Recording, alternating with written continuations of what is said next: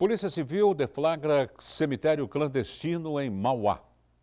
Na manhã de ontem, a Polícia Civil encontrou um cemitério clandestino em Mauá. O local era usado para enterrar os corpos de pessoas assassinadas em brigas. Na vala foram encontradas quatro corpos e dentre eles o de uma mulher. A suspeita é de que haja envolvimento da facção PCC, primeiro comando da capital.